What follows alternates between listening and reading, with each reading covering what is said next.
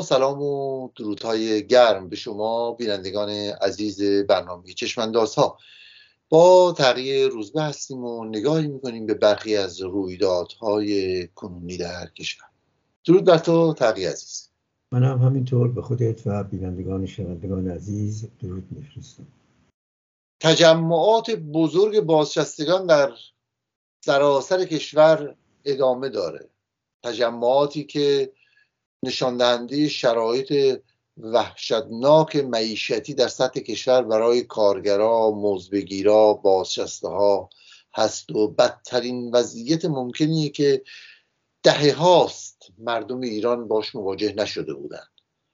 روزانه به صورت نجومی نرخ ارز بالا میره و تورم و گرانی چنان لجام گسیخته سفره های مردم رو کوچک و کوچکتر می‌کنه و سلاخی می‌کنه و بسیاری از اقلام در واقع به یک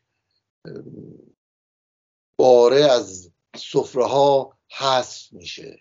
مردمی که الان شاید تنها نان خشک و نانی رو حتی به عنوان غذای خودشون گذاشتن. این شرایط فقط نشان دهنده یک دوره بسیار بسیار وحشتناکی که دولت رئیسی و خصوصا رژیم جمهوری اسلامی از آغاز تا کنون در واقع برای مردم ایران برمغان آورده.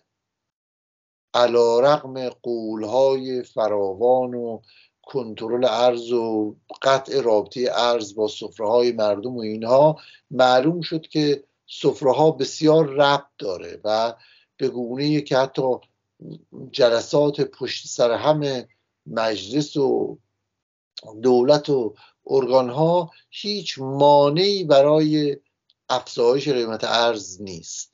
قیمتی که از 67 ریال به بیش از 60 هزار تومان رسیده نشون میده که سقوط سطح زندگی مردم رو بیش از هر چیز نشون میده. به این لحاظ هم هست که ما شاهد گسترده ترین اعتراضات بازشسته ها در سراسر کشوریم و حمایت هایی که شورای هماهنگی تشکل های سنفی فرنگیان سندیکای شرکت واحد اتحادیه آزاد کارگران ایران و بسیاری از شرکت فولاد و سندیکای هفت تپه و بسیاری از تشکلها از این حرکت انجام دادن که خصوصا با توجه به اون در واقع فراخان و منشوری که جنبش کارگری ارائه داده بود به این نشان دهنده چه موقعیتیه. این در کنار فاجعه در واقع مسمومیت های سریالی دانش آموزان دختر در سراس در بسیاری از شهرهاست. در بروجه قوم بروجه و چند تهران و چندین شهر ما شاهد ادامه یک مسموم کردن آگاهانه دانش آموزان دختر برای ترسوندن خانواده ها از فرستادن بچه هاشون به مدرسه هستیم.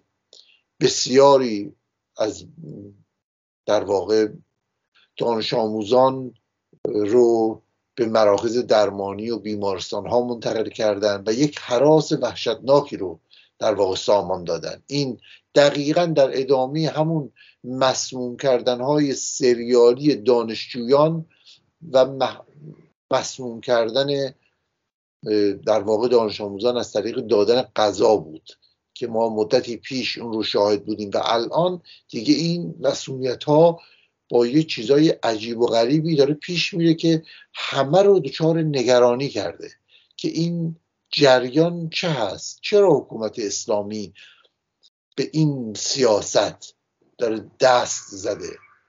اتهام هایی به دیگران می‌زنه اما روشن و واضحه که دست دست مافیای حکومتی در راه همونطور که قبلا با کشتن دانش نویسندگان و روزنامه نگاران و فعالان سیاسی در قطعهای زنجیری سیاسی انجام داد و بعدا قطعهای زنجیری در کرمان و مشهد و اینها علیه زنان زنان انجام داد.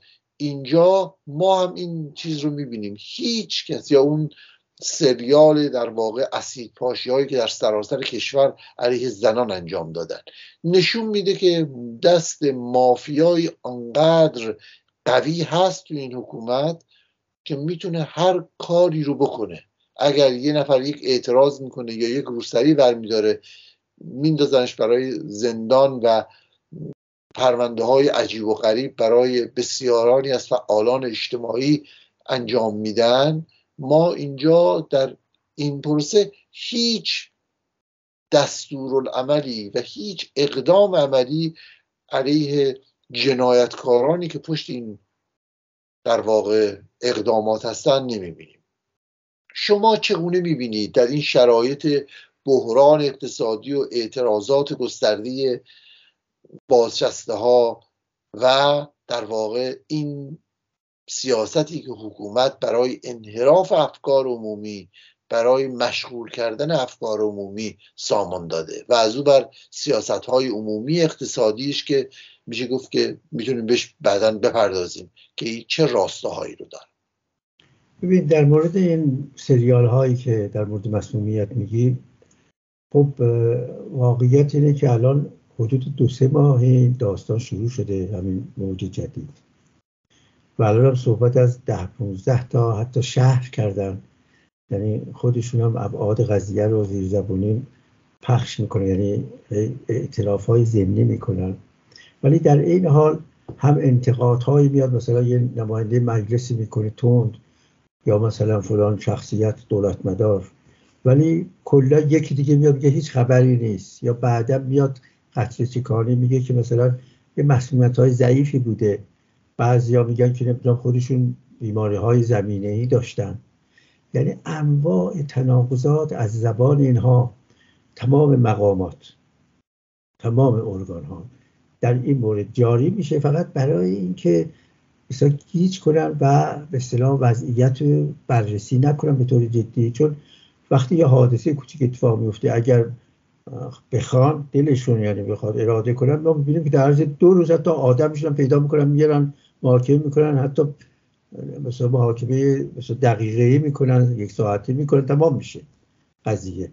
ولی اینجاها که می‌رسه با عجیب شاهد از رژیم اصلا که وجود نداره. بلجیه هیچ کاری نیست. خیلی خون سرد. اصلا مثل که هیچ حادثی اتفاق نیفتاده. با وقاحت مثلا میاد وزیر بهداشت میگه که هیچ نبوده. بعد بعدا دو هفته دیگه معاونش میگه که نمی‌دونم نه جدیه. خطراتی هم بوده.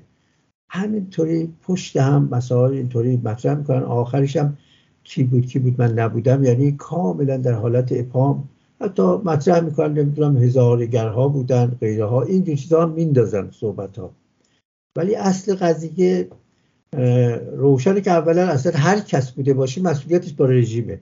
بخاطر اینکه رژیم در واقع وزارت به آموزش پرورش دستگاه های امنیتی دستگاه های نظامی همه اینا اینا چی هستن؟ برای فقط سرکوب مردم درست شدن دیگه نه؟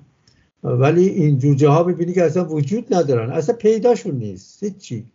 جاهایی که با ابر قدرت ها میگیم میجنگیم و نمی‌دونم دماغشون به خاک میبالیم این جاهایی که می‌رسه شما می‌بینید که اصلا وحشتناک. اصلا میفتن زمین هیچ کی مسئولیت نمیپذیره. پس نه خامنه ای میاد وارد صحبت میشه برای چیزهای کوچیکی که وارد می‌شد. کاملا روشنی که از این زینفته. زینفت براشون. یعنی می‌خوان یه فضا ایجاد کنن روبامیز و اینو دامن بزنن. به شیوه ها ضمن اینکه فکر می‌کنن مسئولیت هم به عهده نگیرن. آخرش هم ممکنه مثل ریشتراش یکی رو پیدا کنن. همونطور که بعضی رو اصلا بردن اعدام کردن. معلوم شده که علکی زیر فشارها بازجویی در بور جاسوسی دیدیم دیگه جاسوس اسرائیل و اینا.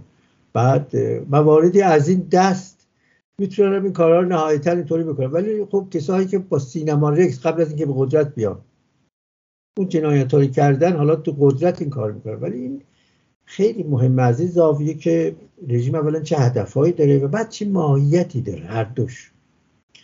چون از نظر هدف ها واقعیت اینه که رژیم در این حال که خیلی می‌خواد اقتدار نشون بده ولی در حال فروریزی تمام اقتدارش تو حوزه‌های مختلفی. خود کسی که اقتدارش فرو میریزه یعنی ریزش داره بهتر از هر کسی اینو می‌فهمه. چون بقیه ممکنه از دور ابهت ببینن ظاهر و شعارها رو صدا و سیما رو. فکر کنن که به دقت نبینن. در حالی که همه احساس می‌کنن فروکش رژیم یا فروپاشیشو ولی در عین حال خودشون بیش از همه اینو متوجه میشن و در نتیجه برای اینکه اینو جلوش بگیرن. چون احرام های حتی اعتراضات اینها هم جلوی اینا نگرفت که سرکوب داشت می‌کرد با اون وحشت و با اون شدتی که می‌کرد. می‌گرفت شکنجه می‌کرد دستگیر می‌کرد همه اینا. تعدادهای خیلی زیادی دیگه نه؟ با اون کمیت ها خب به چنین وضعیتی که وجود داره رژیم اهرمهاش وقتی کند میشه سایر اهرمهاش. و بعد خودش هم می‌دونه که این چیزی که ادعا می‌کنه فروکش کرده انقلاب جنبش اگر هم شده باشه آتش زیر خاکستری است که هر لحظه داره بنزین روش ریخته میشه. به دلیل کل اوضاع سیاسی و مجموعه اقتصاد سیاسی رژیم که در حال مچاله شدنه. خب این خودش رژیم می‌بینه اینو.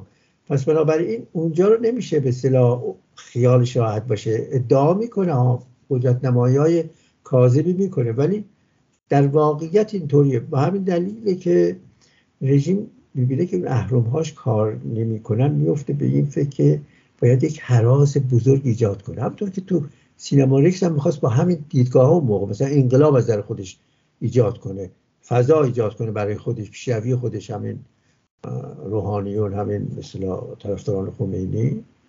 الان که در قدرت رسید هستند و قدرتشون در مثلا معرض ریسک و خطر قرار گرفته بیش از هر زمان دیوانه و مثلا جنون بهشون دست میده. خب با توجه به اینها رژیم پس احتیاج داره به یک حراس کلان حراس بزرگ. حراسی که همینطور که مثل هر چیز دیگه که مثلا قبلش دیدیم به زنان متمرکز می‌کنه چون رژیم از اول دشمن زنان بوده و از اول دو هفته بعد از انقلاب دیدیم که به صلاح حجاب اجباری رو اوورد خمینی و بعد اون اعتراضات شد و بعد سرکوب ها. از همون دو هفته بعدش یعنی اول قضیه بود. پس بنابراین رژیم همواره اینو داشته الانم که می‌دونیم چگونه در این مثلا خیزش اخیر مسئله ای زنان و این سرکوب تبدیل شده یک مسئله بسیار بزرگ یعنی انفجاری شده و حتی می‌بینیم که مسئله رهبری و مسئله مثلا پیشروان پیشرانان این انقلاب زنان خیلی نقش دارن. خب اینا رو که رژیم می‌بینه به همین دلیلی که تمام اون طرف قش می‌کنه یعنی تمام بلایاش و فشارهاش و اسید پاسیهاش و همه می‌بینیم دیگه به اونجاها منجر کنیم و فعلا این فقط این نیست این یک بعد از این قضیه است که این متمرکز کرده به همین مسئله زنان که نقش در واقع تعیین کننده در جنبش دارن. اینا نیست که حراس به اینا ایجاد کنه. فقط مثلا دانش آموزا باشه درس نباشه طالبان باشه. مسائل ایران از اینا گذشته. اینا هست ولی اصلا فراتر از اینا رفته. مثلا یک انقلاب و نقش زنان بیداریشون. مثلا علیه یک جنبشی علیه آپارتاید به شدت گسترده است و مثلا رژیم نتونسته و نمی‌تونه اینو خاموش کنه. و هر روز هم اینو تشدید می‌کنه. خب با توجه به این می‌خواد یه حراس ایجاد کنه. و به همین دلیلی که در مدارس دختران بیشتره و در جاهای ما امروز پردیس هم خبرها اومده اومده. یعنی این ماجرا یعنی کاملا داره گسترش باید که این ترس کاملا فراگیر بشه. و این یک مسئله هست که ولی فقط هم این نیست. رژیم های هجاب اجبار یعنی دستاوردهایی که جنبش زنان به دست آوردن و جامعه البته. برای علیه همین هجاب اجباری و رهایی زنان نقش زنان در صحنه سیاسی در صحنه اجتماعی دیگه خانه نیستن. خانه نشین که رژیم می‌خواد اینا رو مثلا مشغول کنه به اون اهداف خودش. اینا تو خیابان تعیین سرنوشت می‌کنن. تو مبارزه تعیین سرنوشت اینا رو می‌بینه رژیم. به همین دلیله که در وجه مثلا مکمل اون الان به شدت اون دستاوردهای حالا تلاش مذبوحانه است ولی رژیم اگه این کار نکنه باید چه کنه؟ بعد رو به قبله دراز بکشه اشهدش رو بگه بله کار دیگه نمی‌تونه بکنه که. و همین دلیله که خب اون تمام تلاش موجودی که در حال ازمهلال در حال به فروریزی هست ولی خب یک فراینده این مسئله. می‌بینیم که باز هم علا رقم این که اعتراضات گسترده رو مثلا شاهد بود در این پنج ماه خیزشو الان حجوم های خیلی به دانشگاه ها به مدارس به داروخانه ها دارو... مقنعه رو کردن مقنعه یعنی این اون ماجرای طالبان برگشت بقم که اینها استاندارد باید اجرا بشه. فکرشو بکنید شما بعد از یک انقلابی که هنوز هم دودش و آتشش خاموش نشده و می‌بینیم و هر لحظه می‌تونه دوباره سر بر بکشه همه میگن اینو. تمام جامعه شناسان داخل ایران میگن و خود رژیم بعضا اشاره تلویحی داره اطرافیانشون خودشون میگن. این مسئله اتفاق میفته به ترتیب که رژیم بس با حراس می‌خواد این مسئله زنان و کلا و جامعه رو از قبل این زیر فشار قرار بده. این یک وجه قضیه است. یک وجه دیگه هم که مکمل این ارزیابی هست اینه که ما با یک اسفند اسفند ماه منظورمه طوفانی سر کار داریم. تمام ارزیابی های رژیم تو فایل ها تو مسائل دیگه که دادم روزنامه ها و مسائل مثل گزارش های امنیتی سیاسی که می‌خونه می‌بینه کاملا این محسوسه روشنه که همه می‌دونن که ما که الان ما توش هستیم به دلایل متعدد و مرکب. آبستن حرکت های بزرگی بوده و هست. الان هم تا همین دو ماه یه ماه قبلی هم خیلی حرکت ها بوده. از جمله یکی مسائل شده که ما مثلا با همین 17 اسفند مواجهیم که الان مثلا 52 تا جریان گروه در داخل فراخان دادن برای همین. این به پیشواز 8 مارس. جنبش زنان یعنی آغاز انقلاب سرکوب انقلاب که حکومت اسلامی داشت. انقلاب اسلامی منظورم. پیوند می‌خوره در یک انقلاب مسائل با هم. الان چیه؟ با 8 مارس گیریم خوریم یعنی ما 8 مارسی داریم که از 17 اسفند الان رو صحنه هست. دارم میان رو صحنه. چرا؟ برای اینکه جنبشی وارد صحنه شده. می‌تونه اینا رو احیا کنه. وارد صحنه کنه و کرده می‌کنه. به همین دلیل اینها چدیدن شروع کردن به از این زاویه که نگرانی این اسفند طوفانی رو دارن. بعد چهارشنبه سوری رو داریم. بعد مسائل متعدد دیگری به اضافه جنبش های مطالباتی که علل قاعده وجود داشته. ولی الان با از آف مضاعف با شدت بسیار بسیار زیاد به دلیل اینکه بحران اقتصادی حالا اون بحث جدا می‌کنیم. مسئله فروپاشی زمین لرزه ارزو. ولی اشارتا در این رابطه فقط میگم که یکی از مسائلی هستش که جنبش ها رو وارد صحنه کرده مطالبات و اعتراضات گسترده کرده و رژیم میترسه که در این یک ماه اون ادعایی که می‌کرد جنبش رو تونسته کمی کنترل کنه حتی به طور نسبی. بعد اون اصلا از ابعاد جدیدی دوباره سر بلند کنید و این بار رژیمی هستش که رسواتره. یعنی نیومده مثلا نشون بده که من یک کمی مثلا دارم عقب چی می‌کنم امتیاز میدم. برعکس تهاجم شروع کرده.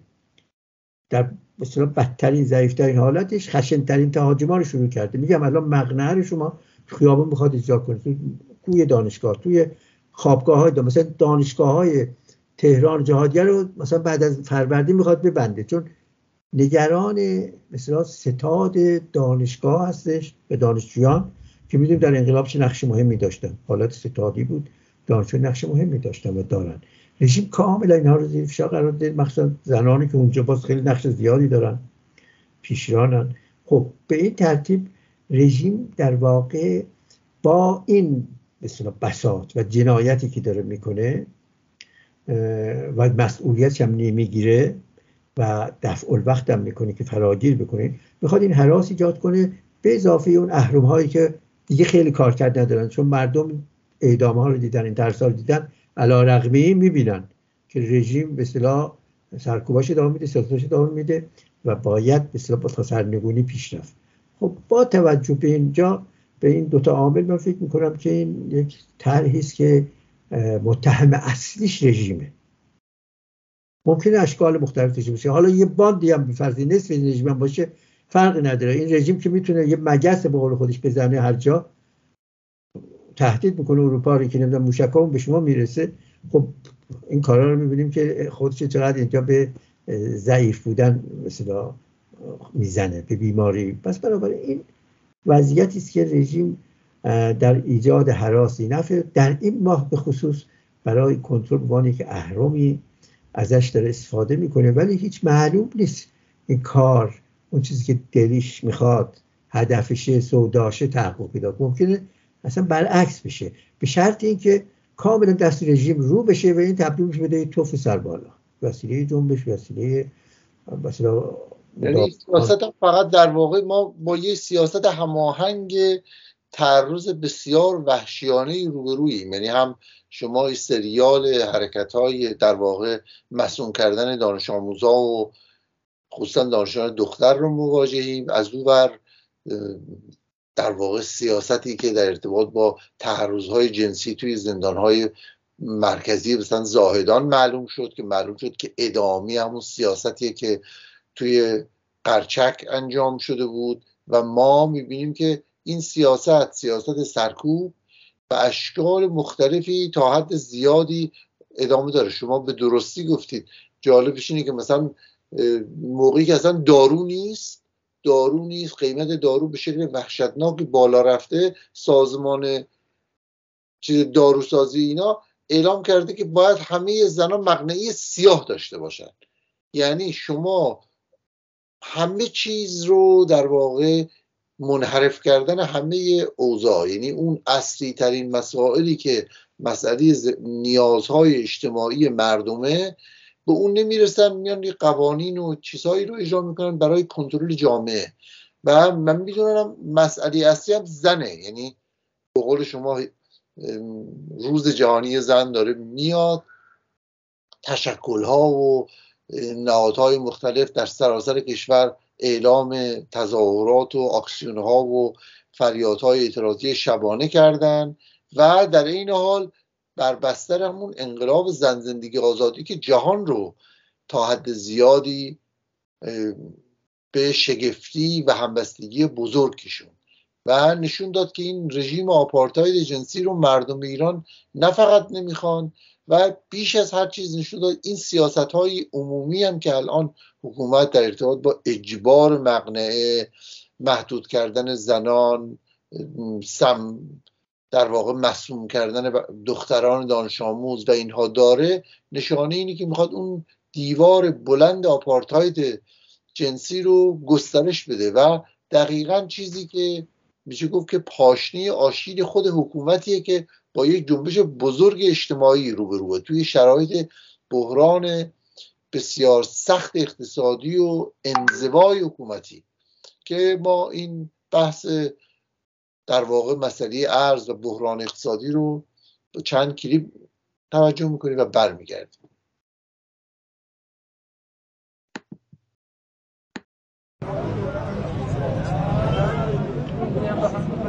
حواله داره آذربایجان خودرو بعد از پنج سال همچنان بلا تکلیفی.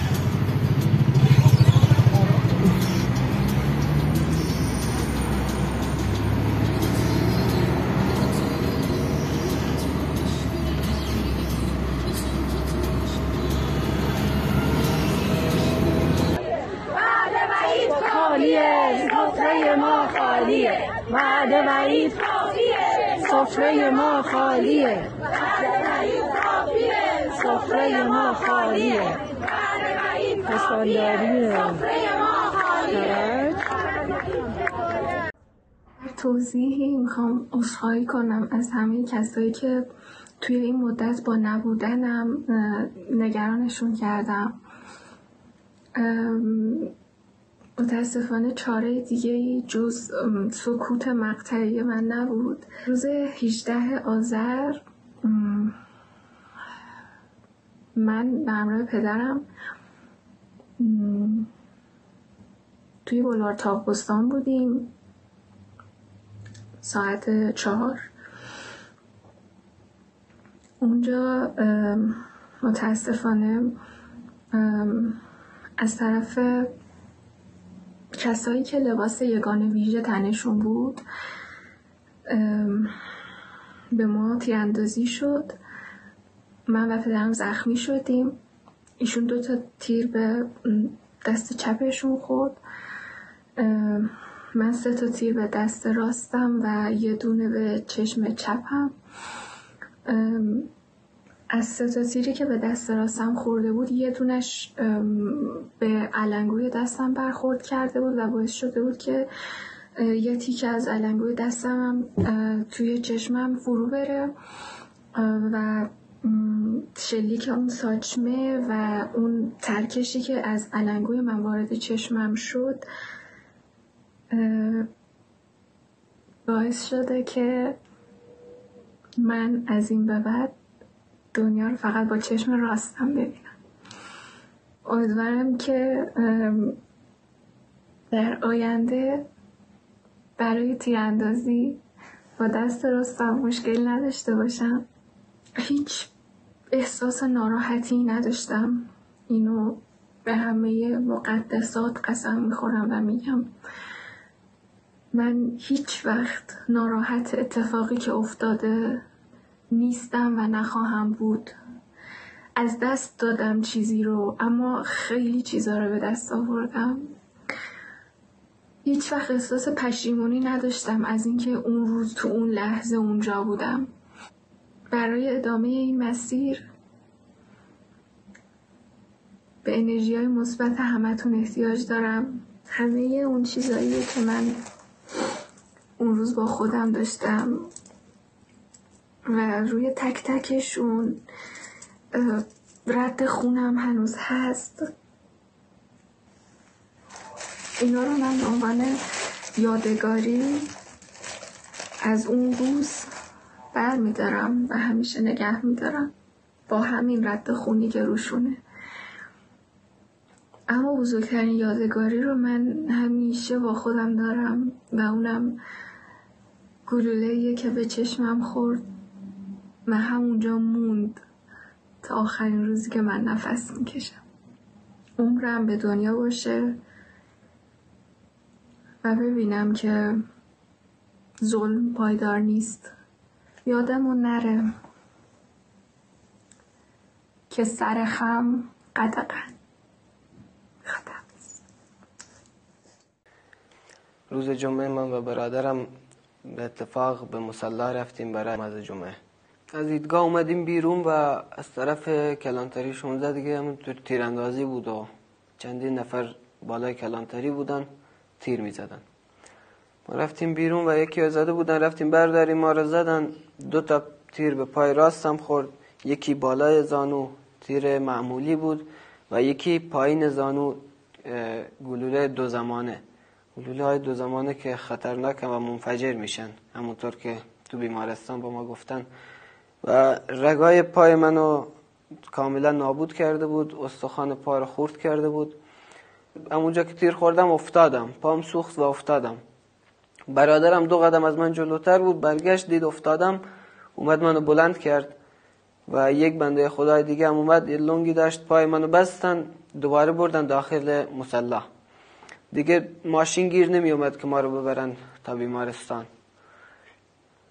یه ماشین پژو اومد و ما رو هشت نفر زخمی رو داخل اون پژو سوار کردن. دو نفر مجروح سمت شاگرد بودن.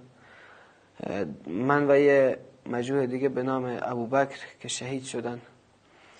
صندلی عقب بودیم. برادرم و امراه ابوبکر اونها هم صندلی عقب ماشین بودن.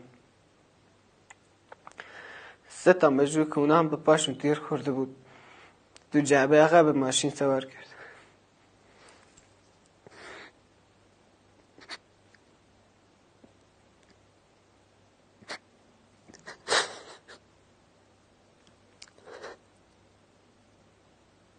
بردم بیمارستان خاتم. خیلی شلوغ بود بیمارستان. کشته زخمی زیاد بودن. ما رو پیاده کردن بردن تو بخش و کسی رسیدگی نمی کرد. برادرم میگه من می‌رفتم می‌گفتم خانم دکتر فلان برادرم پاش دیر خورده داره میمیره. می‌گفت اون پاشه مهم نیست چیز خاصی نیست. ما به بقیه رسیدگی کنیم بعد میایم به اون رسیدگی می‌کنیم. به زور یکی را گرفته بود آورده بود بالا سرم. پامو که دیده بود گفته بود نیست. ما به بقیه رسیدگی کنیم بعد میایم به اون رسیدگی می‌کنیم. به زور یکی را گرفته بود آورده بود بالا سرم.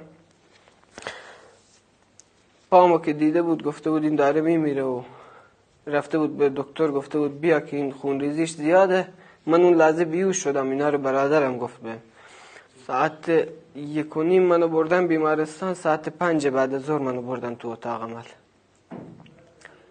اونجا که بردن وسط عمل من تمام می‌کنم کلا نفسم میره و بیوش میشم دیگه دوباره شک میدن و اینا. عمل نمی‌کنم پامو. شک میدم من بر میگردم و میرم تو کما دو شبانه روز یا سه روز فکر کنم تو کما بودم. بعد از کما که اومدم بیرون تازه داشتم به هوش اومده بودم. یه پرستاری اومد بالا سرم. من بهش گفتم بهم آب بده. آب نداد بهم و رفت دکتر صدا کرد گفت ناروی به هوش اومده بیام بالا سرش. دکتر اومد بالای سر من و یه پرونده دستش بود. گفت آقای ناروی شما بهتری؟ من گفتم خدا رو شکر الان اینجا چیکار می‌کنم من؟ گفت که اینو بعد امضا کنین. من گفتم این چیه که امضا کنم من؟ گفت این رضایت نامه است بعد پات قط بشه. من گفتم من انگشت نمی‌زنم. برادرم بیرونه. برین از اون انگشت بگیرین. برادر بزرگم من انگشت نمی‌زنم. من انگشت نزدم و چند روزی معطل شدیم. پدرم کل جاها رو گشتم برای مثلا پیوند و اینا که شاید امیدی باشه که پام برگرده. کرمان یز اینجا رو ما پرسیدیم. گفتن نه رای نداره. این رگاش شریان های پاش سرخ رگ سیاه رگ شاه رگ. تمام رگای پاش قطع شدن. و هیچ راهی نبود برای برگشت پا. دیگه بعد از پنج روز پای منو قطع کردن. بعد که قطع کردن پنج شیش بار دو زایدان پام عمل شد.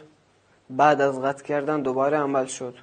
اینجا خوب عمل نکردم پاما و استخون رو با سلامی دوباره به شما بینندگان عزیز برنامه چشمنداز ها با این خبر بد میشه آغاز کنیم گفتگوی بخش دوم گفتگو رو و مرگ پیروز رو که نمادی از جوز پلنگ ایرانی بود که متاسفانه جان داد و نشون داد که سیاست حکومت حتی در واقع در حفظ جان پیروز هم یوز پلنگ هم نتونست در واقع جز سیاست مرگ چیز دیگری نداره و در این حال شاهد بسته شدن و بلعیشته شدن نهادهای نمادهای فرهنگی ایران هستیم تو این شرایط بحران اقتصادی و تعطیلی کتاب فروشی خارزمی که بعد از 39 سال این کتاب فروشی رو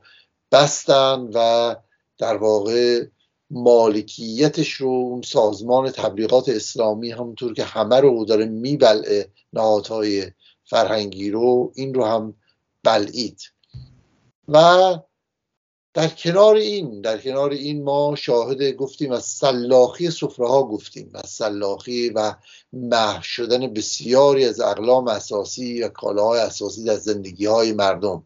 اگر قبلا از حسب تفریحات و در واقع سینما و تئاتر و ورزش و مسافرت صحبت بود بعد ماهی و مرغ رو دیدیم ما الان می‌بینیم که سفره ها دیگه واقعا هیچ چیز دیگری درش نیست و قیمت دلار هم به شکل وحشتناکی که نمادی از موقعیت کنونی و سقوط زندگی مردمه به بالای 60 هزار تومان رسید. چیزی که در مخیلی هیچ کس هم نبود. اگر دوره با هفت و شیش هزار یا هفتاد شیش ریال آغاز شد و امروز دیگه به یک کاغذ پاره بیشتری در واقع نمیمانه ارزشش. شما چگونه می‌بینین این بحران اقتصادی رو؟ چون ما می‌بینیم توی شرایط این بحران اقتصادی هست که بحران اتمی ادامه داره اون بحث های حکومت اسلامی و انزوای این حکومت به شکل گسترده ای هست. تحریم های بینالمللی گسترده تر میشه به خاطر هم سیاست های حکومتی در رابطه با اوکراین هم در رابطه با مسئله حقوق بشر و در رابطه با مسئله اتمی. و مجموعا ما شرایط بسیار تاریکی رو در چشمانداز می‌بینیم. تاریکتر از آن چیزی که هست. و نشون میده که هیچ راهی جز واقعا سرنگونی برای پایان دادن به این دوره نیست. شما چگونه می‌بینید این قضیه ببینید این جنبش مطالباتی که الان معیشت خود رژیم الان دیگه اعزام می‌کنه که بزرگترین پاشنه آشیلش همه اقتصاده. و می‌دونیم که این دم دستگاه رئیسی رو این دولت برگزیده رو خامنه اینا با یک پروژه کاملا اوورد در رو کار که از تحصیل کردگان امام صادق یعنی آدم های زوب شده. چون قبلی های مدار خورده شیشه داشتن. از نظر اینها گرایش های قبلی مثلا معتدلیون اصلاح طلبان غیره و اینا. و اگر به هر حال خودشون بیاد یک دستم بکنن از این امام صادقیان بیارن رو صحنه که خامنه بارها گفته از این کادرها رو باید بیارن رو صحنه که برای اینکه اون استراتژی جامعه اسلامی دولت اسلامی تمدن اسلامی رو اون هم که پا به گور هست باید خودش اینو پرچمش رو نصب کنه. سوداهای اونو دارم میگم. بر مبنای اینها چون اقتدار مطلقا دستش بود و اقتدار مطلقه وقت از کسی بیاد یعنی عقل کار نمی‌کنه. چون تمام اون میانگین مبادلات فکری که به هر حال اتفاق می افتاد مقدار معقول می‌کرد هر سیستمی رو به طور کلی این سیستم به طور مشخص. وقتی چند گرایش وجود داشته باشن خب خروجیش خیلی معقولتر و سنجیدتر میشه. اصلا اون عجله اون نمی‌دونم هدف های یک جریان اینا تعدیل پیدا می‌کنه. ولی وقتی اینها هم که نیست و حلقه های میانی هم همه حذف شدن. پادشاه به اصلاح برهنه شده صحنه هست تنهایی. بعد می‌بینیم که در یه چنین شرایطی هیچی نشه یه سال یه سال خورده گذشته کفگیر به تای دیگ خورده و تمام مثلا برنامه ها ادعاهایی اینا حتی ادعاهایی که مثلا یک ماه پیش می‌کردن. حالا تو انتخابات هم خیلی کردن. در مورد قیمت ارز در مورد کنترل تورم در مورد میزان نقدینگی. خیلی مسائل ادعا همه اینا مکتوب هست تو ذهن جامعه هست. چون رو هر روز مطرح می‌کردن گوش فلک رو کر می‌کردن و می‌کنن هر روز. بعد الان می‌بینیم که وقتی مخبر میره تو مجلس میگن بابا این چه بساطی حالا اونا پشت پرده خیلی صحبت می‌کنن. این میگه همین هست بخواید نخواهید جزی بهترین کار ما داریم می‌کنیم. همین بساط کلان هست. این واقعیت نشون میده که رژیم از نظر اولا اقتصادی واقعا یک نوع دوچار فروپاشی شده. چون سیاسی که خب بحران شد همین انقلاب. یعنی یه بحران سیاسی علیهش جامعه برپا خواسته. در اون ابعاد کلان. یعنی مشروعیت دیگه رژیم نمونده بود براش و به هم ریخته بود در اون حوزه ها بخوزه ولی در حوزه اقتصاد که کشور نفتی و به حال ثروتمند بالقوه بالفعل بوده. کلی کارخانه و مسائل اینجوری بوده همیشه. در ایران بوده دیگه. از نظام قبلی خود دولت های قبلی این رژیم و مراوداتی که داشته با جهان. به همه اینها رو این مثلا رسالتی که خامنه به این داده اینا آدمهایی رو وردی که هیچی سرشون نمیشه. فقط وفاداری شاخص بوده براشون. تمام گزینش هایی که اینا کردن همه هست تو روزنامه آدم می‌بینه. در مورد مسائل نمی‌دونم واقعی زندگی اجتماعی چی نمی‌دونم. اینا با شاخص های دیگه دقیقا به خاطر اعتماد به خاطر گذشته که در اون حوزه داشتن دفاع قاطع کردن وفادار موندند با اینا انتخاب شدن. و همین دلیل قرآن هم که خیلی ابعاد شدید داره هم و چه بینالمللی داره هم داخلی داره هم درون رژیم گسیختگی های زیادی هست بین جناها و مسائلی که دارن. خب در یه چنین شرایط تحریم و همه اینا هست این اومدن رو صحنه و در بدترین شرایط و هم دل دستشون هر روز رو میشه. یعنی یک چیز تبدیل شده به ضد خودش. وقتی میگیم لغمه در گلوی خامنه مونده خامنه البته میاد گاهی استحصا می‌کنه میگه گفته بودن در فلان زمان تو جمهوری اسلامی بعد خیلی وقت پیش می‌رفت.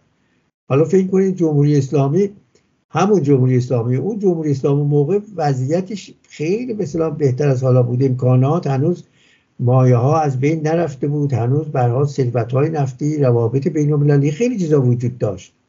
و حتی عقول مختلف نه فقط یک دیکتاتوری که تمام ایار خودش فکر می‌کنه محیطش هم بسته است. خب این به اینجا می‌رسه که این فروپاشی اقتصادی ما زمین لرزه های بزرگی داریم می‌بینیم اتفاق داره میفته و خب معلوم صدای شکستن این ارز و این ریزش پول ملی و که بها همینطوری قیمت ها جهشی متناسب با این بالا میره این چه تأثیری فلاکتوار بر اخشار جامعه می‌ذاره بر اخشار وسیع. حتی دیگه همین خود به اصطلاح جامعه شناسان رژیم طبقه متوسطی نمونده. متلاشی کردیم. رژیم نمی‌خواد طبقه متوسط. اونا میگن. بعد همه اینها حالا میگن طبقه متوسط فقط فرهنگی مونده. خب یه آگاهی داره میاد تو جنبش فلان. و خود می‌دونیم که آسپایاد مثلا اینا رو تحت عنوان طبقه متوسط فرودست توضیح داده و به اصطلاح فرموله کرده.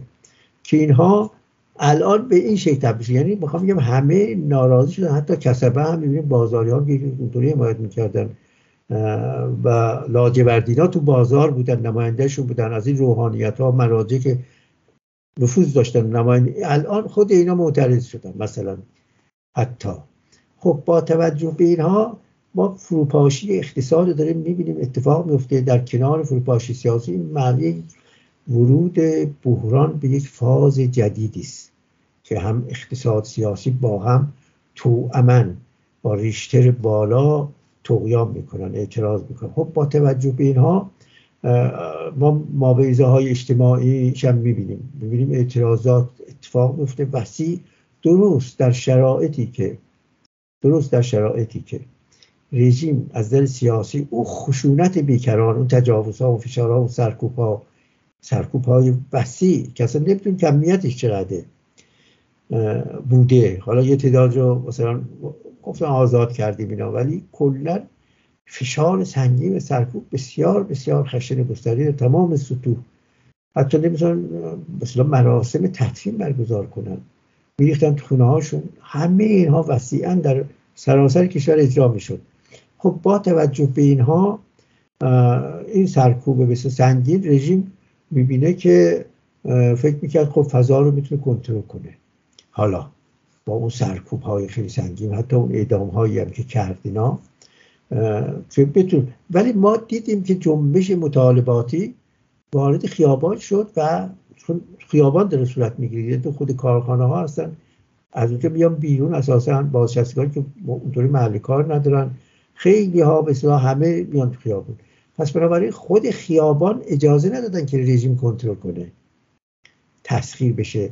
این بار ما ببینیم که این شیفت مطالباتی بود که در شرایطی که خیابان یه مقدار زیر فشار فشار بسیار سنگین فروکش نسبی کرده بود اینها وارد صحنه میشه همینطور که اصلا مسیر رشد انقلاب تا حالا هم این در واقع شیفت پارادایم بوده. یعنی اینا با همدیگه اول جنبش های مطالباتی بود میمدن تو خیابان میپراکندن همین معلمین کارگران غیره و اینا. بعد انقلابات شکل می‌گیره اینطوری نیست که در خلا صورت بگیره. خب متقابلا ما می‌بینیم که موقعی که خود انقلاب خیابان وارد صحنه میشه و نقش آفرینی می‌کنه در این پنج ماه دیدیم. و چگونه مثلا این اعتصابات در شرایطی که اون زیر فشار قرار وارد صحنه میشن. و به همین دلیلی که خیابان خلوت نمیشه یعنی کنترل رژیم نمی‌تونه اعمال کنه. اونجا می‌بینیم که خطاب به رژیم به فسادش جلوی مجلس همه جا اتفاق میفته رژیم حتی در بدترین هارترین شرایط نمی‌تونه جلوشون بگیره. می‌بینیم دیگه الان همه جا.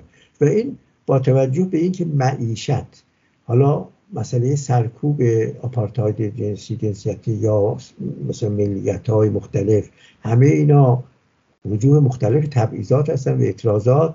ولی ما با بحران مرکبی مواجه هستیم که همزمان وجود دارند و خب به درجاتی هر کدوم در تحت شرایطی می‌تونن فعال بشن ولی متقابلا با هم تاثیر می‌ذارن. الان مسئله معیشت به شدت در کنار اونها همون تبعیض ها و اینا وارد صحنه شده و واقعیت هم اینه که معیشت مسئله فراگیر همه هست. یعنی دیگه اینطوری نیست که به بخشی مربوط باشه یا مثلا بشه ازش صرف نظر کرد. مثلا ممکنه یه سرکوبی مثلا در مورد زن اتفاق بیفته. چادر رو مثلا تحت شرایط برای کوتاه مدت برای یه دی تحمیل کنن. اونا میگن اونا که بهشون تحمیل میشه که خب ما می‌تونیم حالا فعلا بپذیریم زیر فشاری که نمی‌تونیم توان بیاریم در فرصت بعدی مثلا. ولی در مورد معیشت نان گرسنگی شما نمیشه چون به آخر جهان رسیده و باید زندگی کنی. بچه خودت نان به هر حال موجودی که به نام انسان زنده است باید این بسیار تعمین بشه انرژیش. خب ما یحتاجش اینها وقتی وجود نداره و داره هر روز هم بدتر میشه طبیعی است که ما به یک بحران عظیم معیشتی مواجه هستیم که البته معیشت الزاما ازش انقلاب در نمیاد. پرانتز رو میگم. می‌تونه سی سال در بیاد. ولی در شرایطی که ما با دوره انقلابی وضعیت انقلابی مواجه هستیم جنگ بزرگی هست. چه سال الان هم که به اوجش رسیده خب این مسئله ما می‌بینیم که پس بنابراین احتمالا ما با یک موضوعی که مواجه بودیم در مسائل جنبندی مثلا پنج ماه وضعیت اینا این بحث هم هست. علاوه بر اینکه گفتمان باید تعمیق پیدا کنه این بحث هم بوده که میبایست خیابان تودهی بشه توده تر از اونچه که بوده. چون به قدر کافی تودهی نشه خب رژیم هنوز تفوق داره و سرکوب می‌کنه. و همینطور مسئله به مطالبات و جنبش اعتصابی سراسری بشه. خب این هر دو مسئله است دیگه. نه رژیم هم سرکوب کرده می‌خواد اتفاق نیفته یا مثلا منقطع کنه رو. ولی می‌بینیم که الان مطالبات وارد شده و مسئله خیابان هم از قبل اون وارد خواهد شد چون آتش خواستن سر جاشه. یعنی اصلا مثلا خاموش نشده که. ما می‌بینیم که هر لحظه می‌تونه لحیب بکشه. پس بنابراین اینجا می‌تونه این فرایندی که رژیم می‌خواسته اینا رو مثلا تفکیک کنه سرکوب کنه نگذاره برعکس می‌تونن به هم تبدیل بشن با توجه به این بحران معیشت اقتصادی که فراگیر است و بسیاری که اصطلاحا می‌گفتن بخشای خاکستری. اونها رو وارد میدان بکنه چون همه ناراضی می‌کنه. مال باختگان وسیع میاد خیلی چیزهای دیگه. بعد این ارزم ضمن یک مسئله هم در مورد ارز باید بهش اشاره کنیم. اونی که حکومت اولا ناتوان از کنترل اقتصاد شده. یک. دو. پذیرفته که بار اینو بندازه بر دوش مردم بار خودشو بذاره کنار و اصطلاح بار خودش ببنده. یعنی کاملا در یک وضعیتی قرار داریم. چون به همین دلیلی که از این نرخ هم رژیم استفاده می‌کنه. خیلی از اقتصاددان هم میگن که مثلا 60 هزار تومان شده مثلا کسی بودجه رو می‌خواد حل کنه. و از این مسائل که خارج از بحث منه فرصت هم نداریم. ولی می‌خوام بگم که رژیم از قبل اون هم یه دی ران تو سود عظیمی می‌برن. از همین مسائل ارزی.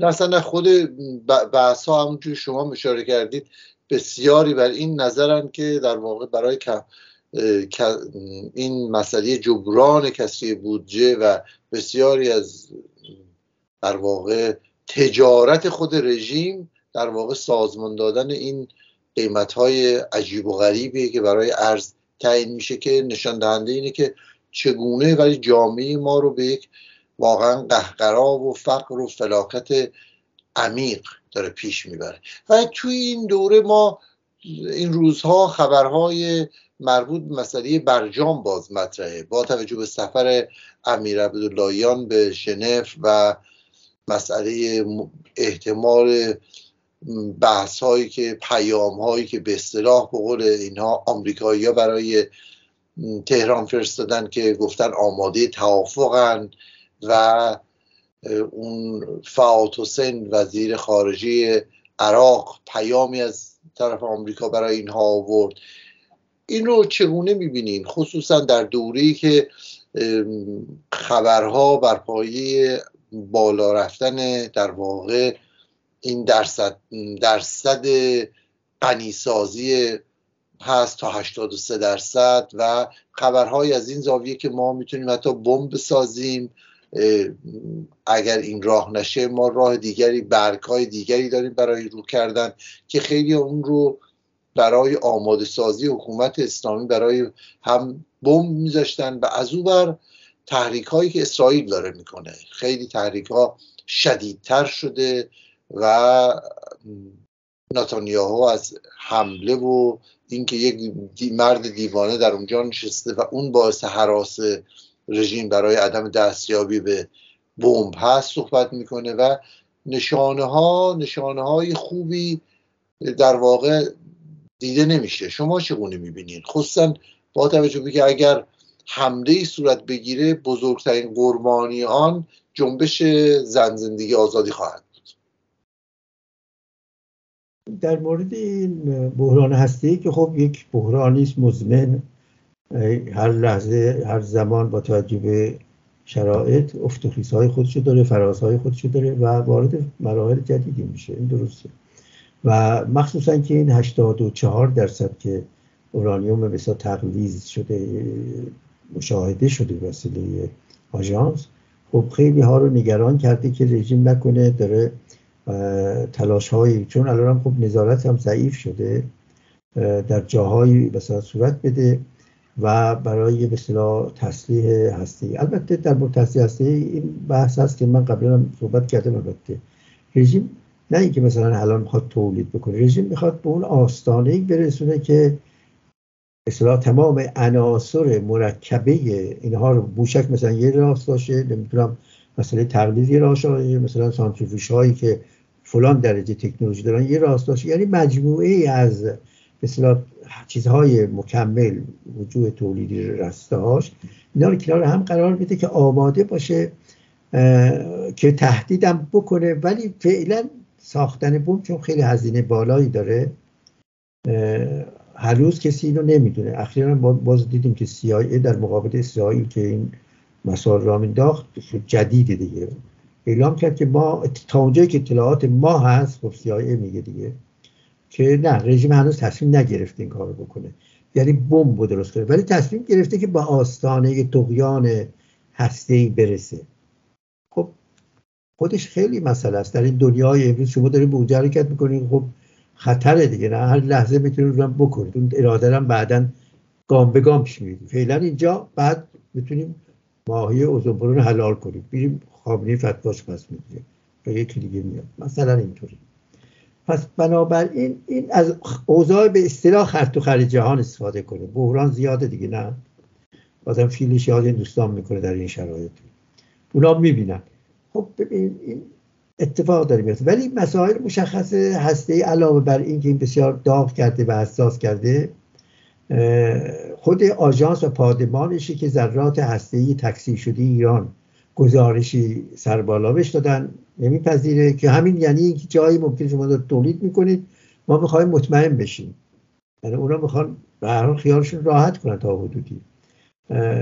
و همین دلیلی که این و 15 اسفند این حدود همین اواسط جلسهش میشه و جلسه قبلی هم قطنامه رو به انتقادی تصمیم کردم این دفعه می‌تونن با این به اصطلاح فشارگیری می‌بریم به سازمان و بعد از این برم ماشی هسته رو فعال می‌کنیم چون اروپا الان دیگه کنار آمریکاست. مثل دوره ترامپ نیست. خودش درگیره مثلا با ایران و طرف ایرانه طرف مقابل ایرانه. اون وسط نیست مثل گذشته. بعد این چون جابجا جا شده این نقش ها در اونجا و همین دلیله که هم ماشه هسته ای رو می‌تونن فعال کنن همون فعال کنن و چون ایران هم به هر حال داره مسیر مثلا تهدید و مشتارهاش ادامه میده و حاضر نیست که خودشو مثلا انتباق بده به واسطیت اینا. به همین دلیلی که اونا الان می‌خوان به فشار بیارن و دیدیم که در آستانه برگزاری جلسات دور قبلی هم بود. یه مقدار ایران هارتوپورت می‌کنه نمی‌ذاریم اصلا یعنی چی؟ فلان اینا میرن اسرار رو پخش می‌کنن از این حرفا. تو روزنامه ها پخش شده. ولی می‌بینیم که بلا فاصله قبل از اینکه جلسه تشکیل بشه ایران یه چراغ سبز می‌ذاره دعوت می‌کنه. خاطر اینکه مثلا یه گزارش یه چیزی بگه اونجا مثلا به سیم آخر نذارن. به این بازی ها هست. ما می‌بینیم همیشه. و اونها هم این ملاحظه رو می‌کنن. چون می‌بینن اگر ببرن اونجا خب بعدش چی؟ بعد بالاخره نظامی هم وارد شن اگر اینا کفایت نده. حکومت همینطوری به تازه بره جلو مثل شمالی مسیر انتخاب کنه. خب این نگرانن. پس بنابراین هر دو طرف بازی می‌کنن و می‌بینیم قطر و اینها رو میفرستن. ولی در این حال سخنگوی وزارت خارجه میگه که اصلا این حرفا چیه که ما اصلا هیچ کس رو نفرستادیم چون اون به نام آمریکا نیومده که اونجا. اون دیپلماسی اینطوریه. بیان نمی‌کنن ولی در عمل اجرا میشه و پیام هایی رو می‌رسن و بعدم بر بررسی می‌کنن ببینن چه هست. الان اصلا آمریکا حاضر نیست بگی من اصلا می‌خوام برجام صحبت کنم با شما. گفتی شما سوزوندید رفتید و دیروز گفته آسین دوباره. گفته که اصلا اینا شوخی داره می‌کنن. خودشون باید ثابت کنن که چیه کجا هیچی نیست. ما هیچ وقت درخواست نکردیم از مذاکره. پیام به شما نفرستادیم. چون نمیگن پیام فرستادید. و ایران الان شدیدا زیر فشاره چون همه می‌دونن موضوعیت مثل موقعش خیلی ضعیفه از درون از اقتصاد. هر روزم که این مسئله ادامه پیدا می‌کنه نرخ امتیاز بیشتر میشه امتیاز خواهی ها از اون باش. طبیعی شما هر جا به درگیر باشید که شاکش داشته باشید به اندازه ای که شما وضعیتون خوبه و اون نقطه ضعف داره می‌تونید نرخ تعیین کنید. این کار اتفاق داره میفته و حکومت اسلامی هرچی مشمول مرور زمان میشه به ضررشه. ولی در عین حال هنوز چون سیاست هم سیاست های قبلی است رژیم حاضر نشد تجدید نظر بکنه در هیچ حوزه ای ادامه میده این مسئله رو. خب این وضعیتی است که الان ما می‌بینیم که گروسی رو بلا فاصله دعوت کردن. بستگی داره که در این ماجرا آیا در مورد این پادمان امتیازی میدن اجازه میدن؟ و خیلی هم میگن بعیده در این مورد. ولی ممکنه مثلا به دفعات بازرسی رو بیشتر کنن. اجازه بدن مثلا یه سری امتیازهای این تیپی ولی نه اصل امتیازات که اونجا مثلا قطنامه رو یه مقدار رقیقتر چون می‌دونی یه قطنامه خواهد شد یا اینجور چیزها پیش خواهد رفت. مثلا یه مقدار ضربی شد بگیرن. یه وضعیت بحران هستی. اینطوری الان مثلا تو منشور داخل ما دیدیم که یکی از خواستای منشور اینه که اصلا بحران اتمی ما نمی‌خوام. اصلا هستی اینا این چی نمی‌خوام. مثلا این بساطی که رژیم را انداخته باش مرزبندی می‌کنه جامعه ما به حال نمی‌خواد. ولی حکومت عنوان ابزار اقتدار نمی‌تونه کنار بذاره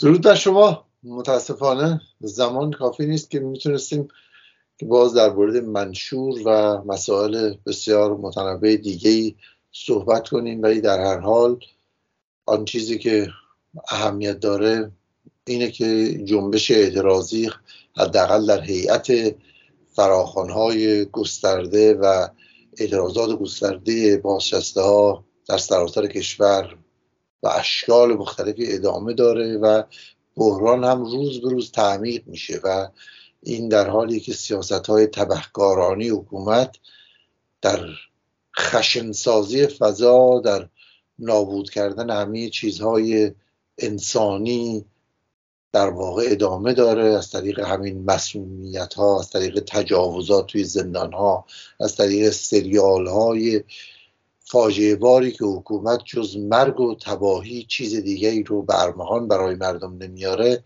راهی نذاشته جز اینکه اقدامات بزرگتر و وسیعتر جنبش های اجتماعی رو شاهد باشیم. و امیدوارم که در هشتم مارس در 17 اسفند ما شاهد جنبش گسترده زنانی باشیم که می‌خوان این رژیم آپارتاید جنسی و رژیم جنایت و فلاکت اسلامی رو در واقع به گورستان تاریخ بسپارن.